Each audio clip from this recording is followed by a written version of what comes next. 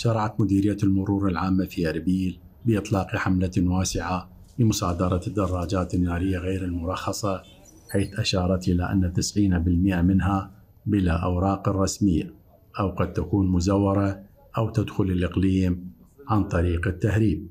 أكبر مشكلة عندنا بالدراجات. عندنا كثير من الدراجات اللي داخل الإقليم أو داخل العراق بطريقة غير قانونية واللي ما تحمل منافسات. ولهذا إحنا من يمرون بالمفارس إحنا نصادر هاي الدراجات. وطبعا من تكبر الكمية اللي مصادرة نأخذ أمر من الوزارة نقوم بإتلاف هاي الدراجات حتى ما ترجع غير مرة الشوارع وتسبب حوادث مرورية. أثارت هذه الإجراءات تذمرا واسعا لدى أصحابها مطالبين بإصدار وثائق رسمية وإجازات سوق لهم.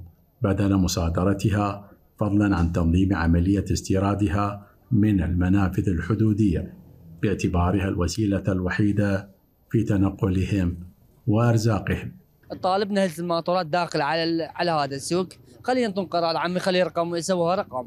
ما عندنا اشكال إحنا. خلينا نسوي رقم إحنا من قانونيه خلي اللي اللي يشتري بخم تقريبا مليون دينار.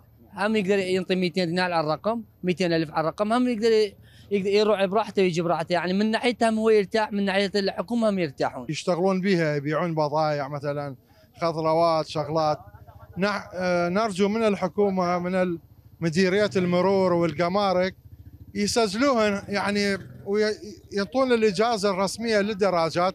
حتى ما يلزموها بالشارع.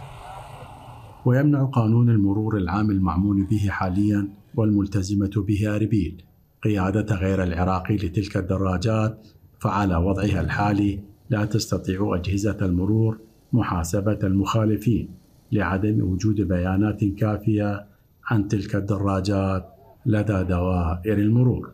قبل عشرة سنوات كانت حكومة إقليم كردستان تستورد هذه الدراجات النارية وتمنحها أرقام أصولية. اليوم تتصاعد المطالبات بتنظيم عملية استيرادها للسيطرة على المخالفات والحوادث التي تتسبب بها.